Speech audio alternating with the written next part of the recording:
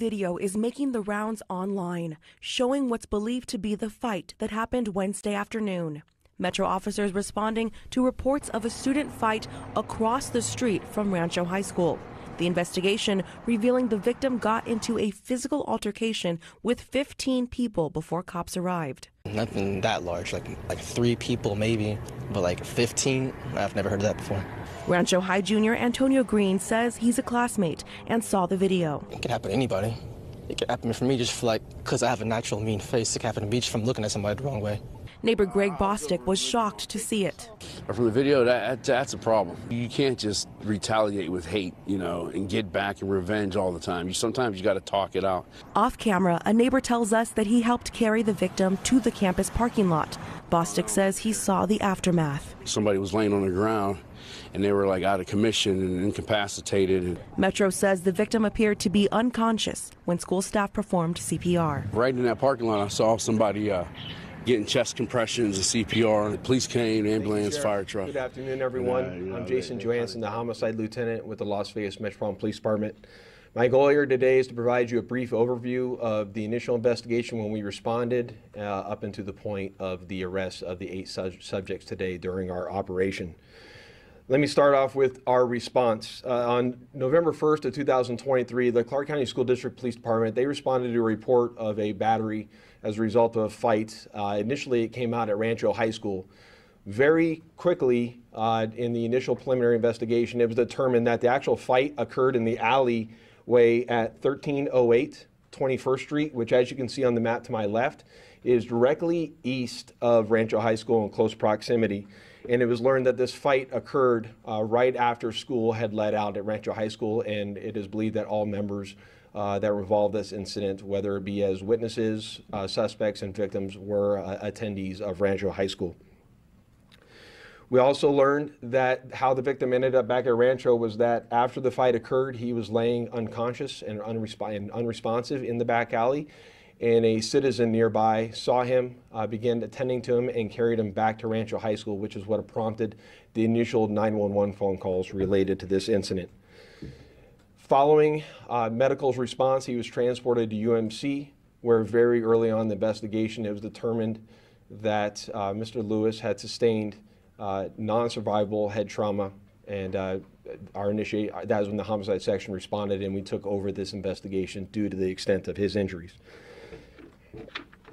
As you know, the, the, the video that has been shared widely on social media, which I am not going to uh, show today, uh, but many people have seen it, is very graphic and, in my opinion, is very void of humanity.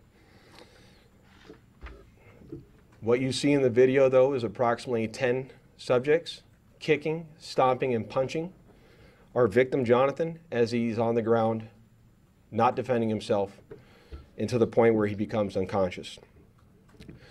During our investigation, we quickly learned that the fight was actually over a pair of stolen wireless headphones and possibly over a stolen marijuana vape pen uh, from incidents that occurred earlier in the week.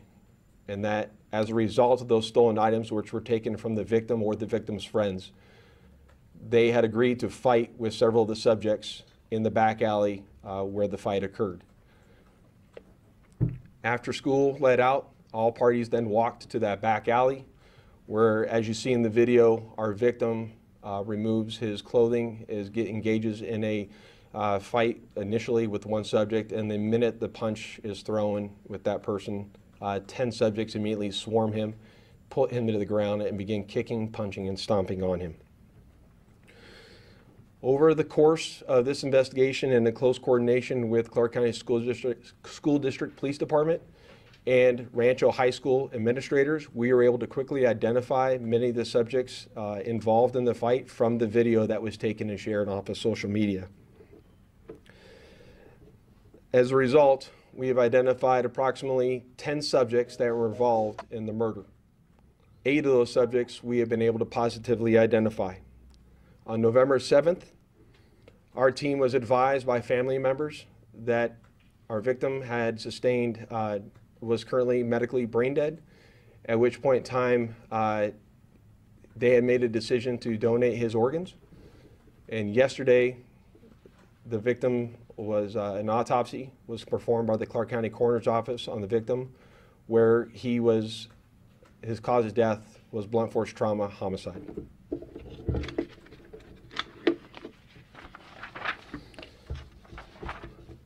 As I mentioned earlier, as a result of our investigation, we were able to identify eight of those 10 subjects. And based on that investigation, we, we conducted an apprehension operation this morning with the FBI Criminal Apprehension Team and members of our Major Violators and Narcotics Bureau. During that operation, we were able to arrest all eight subjects, and we executed nine search warrants at various residences throughout the Las Vegas Valley. During those search warrants, detectives were able to obtain numerous clothing from the residences that the suspects wore during the attack on Mr. Lewis. All subjects that were arrested in this incident range from the age of 13 to 70, 17. All are juveniles, and all were booked into the Clark County Juvenile Hall on charges of murder. The case will now be turned over to the Clark County District Attorney's Office, who we've been in close coordination with, and we'll go through the normal steps of determining, uh, for, uh, going through the normal steps for them to be certified as an adult. As the undersheriff mentioned in this investigation, is far from over. Uh, we've identified eight of the 10 we are believe are responsible for the murder.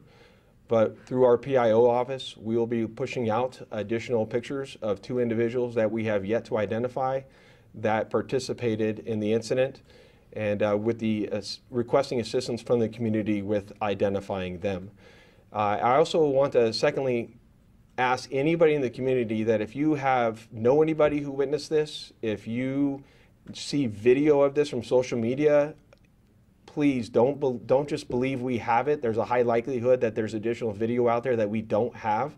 I encourage anyone, if you have that video, to please contact the LVPD homicide section, or if you wish to remain anonymous, that video can be shared through Clark County, uh, through um, Crime Stoppers in Nevada.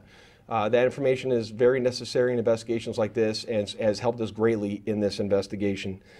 In closing, I just want to thank my team for the uh, for all the investigative efforts that they they, they uh, did on this case. Our homicide section does amazing work, and they are able to get it done very rapidly.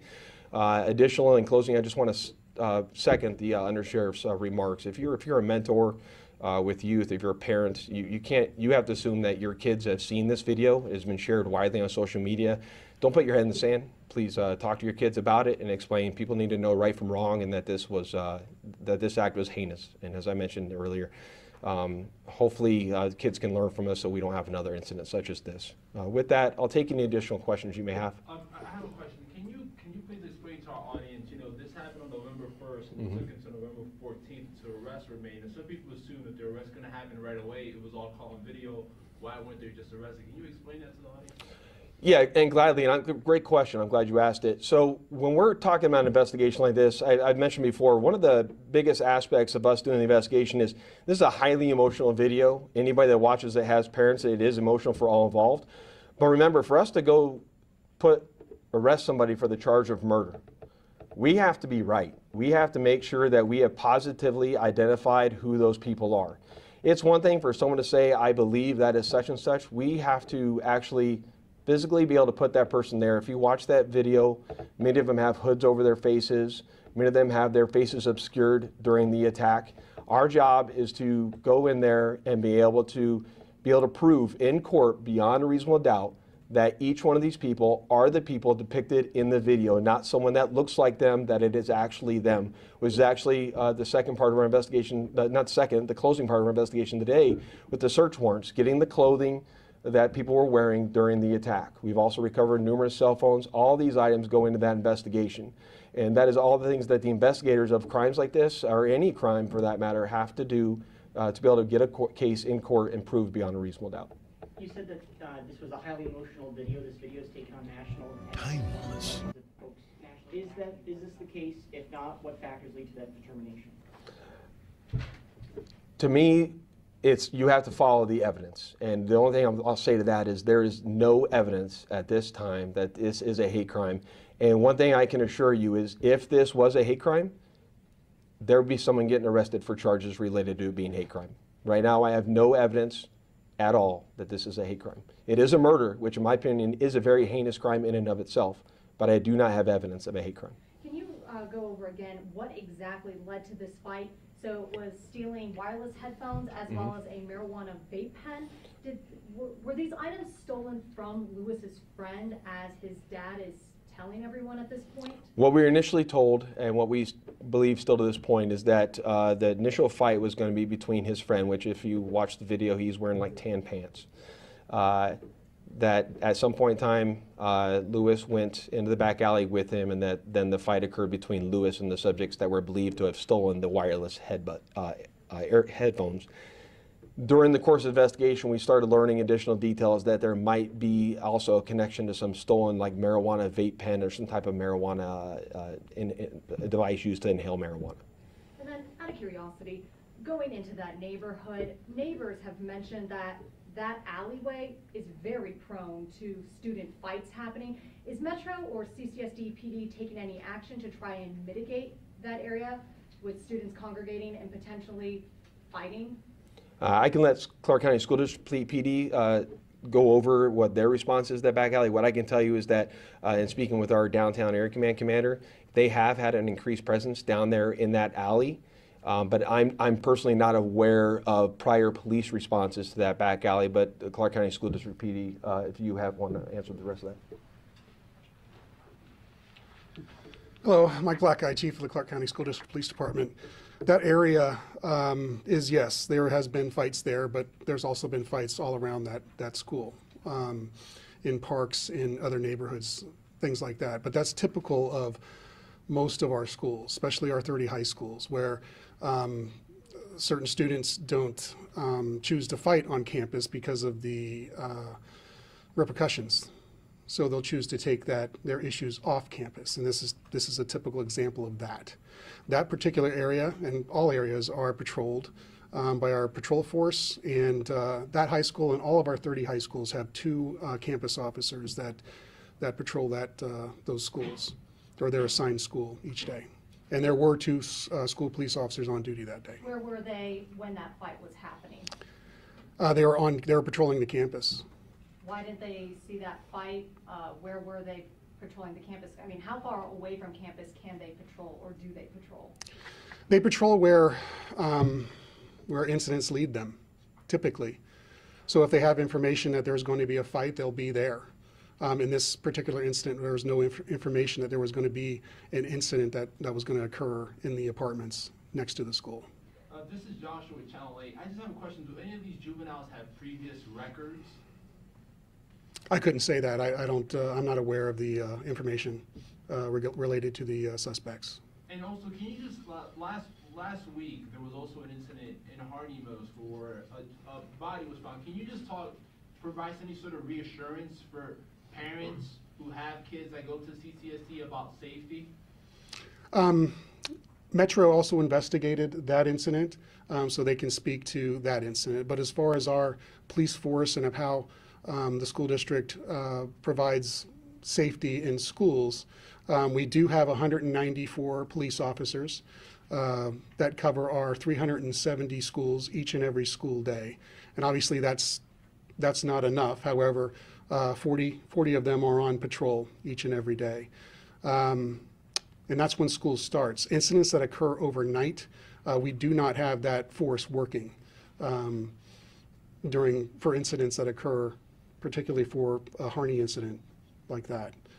What is CCSD police doing differently after the incident in Rancho Obviously, an incident like this is going to impact the school community, um, specifically Rancho, the students, obviously the staff, um, and parents. And just not parents of, of Rancho, but uh, parents all over Clark County. I've received calls um, basically stating that it could have been their child. Um, what we've done, obviously, we're partnering with our agencies like we always do, Metro, uh, North Las Vegas, which is very close um, border-wise to Rancho. Um, and uh, we're providing extra coverage at Rancho and other sites. Uh, we're also uh, providing a, additional service uh, to that school. Um, and I can't speak of that right now.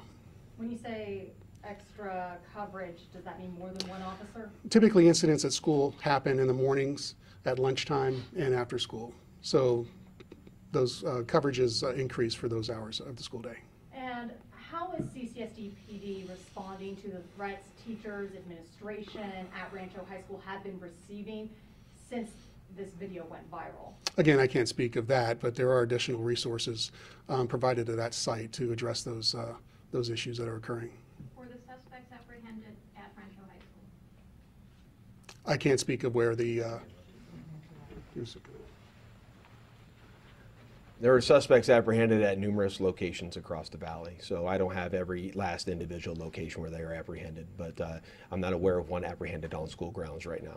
No, You are not? no, I'm not aware.